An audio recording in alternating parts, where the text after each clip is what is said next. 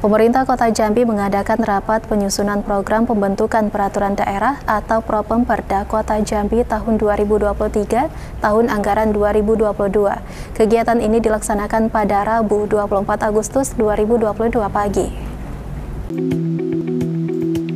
Rapat penyusunan program pembentukan peraturan daerah atau Propemperda Kota Jambi tahun 2023 tahun anggaran 2022 diselenggarakan oleh pemerintah Kota Jambi pada Rabu 24 Agustus 2022. Kegiatan ini dihadiri oleh organisasi perangkat daerah Kota Jambi dan akademis Universitas Jambi. Kegiatan ini dibuka langsung oleh Wali Kota Jambi Syarif Hasan. Dijelaskan oleh Sekda Kota Jambi Aridwan bahwa peraturan daerah untuk tahun 2023 mendatang sudah dianggarkan di tahun 2022 dan diharapkan peraturan daerah yang akan dihasilkan ini dapat bersifat sederhana dan mudah dipahami.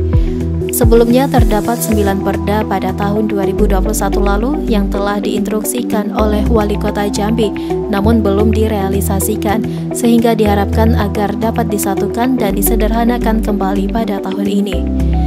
Dirinya juga menegaskan agar tidak terlalu banyak perda dalam penegakan peraturan tersebut yang tidak efektif dan tidak bermanfaat bagi masyarakat.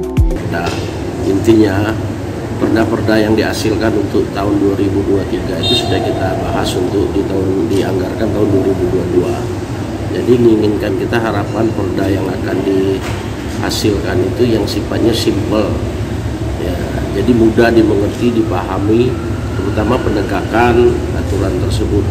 Jangan terlalu banyak perda kata beliau tadi, kata Pak Wali, tapi tidak efektif.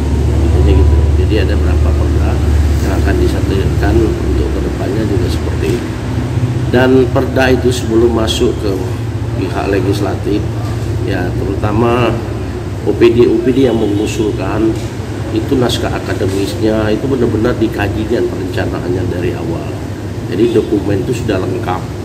Jadi tenaga ahli yang membahasnya para akademisi dan lain sebelum masuk ke uh, dibahas di tingkat dewan pihak legislatif. Itulah harapan beliau untuk perda ke depannya. Jadi simpel, tapi banyak perda tapi uh, uh, apa artinya juga manfaatnya tidak uh, berarti untuk masyarakat percuma juga.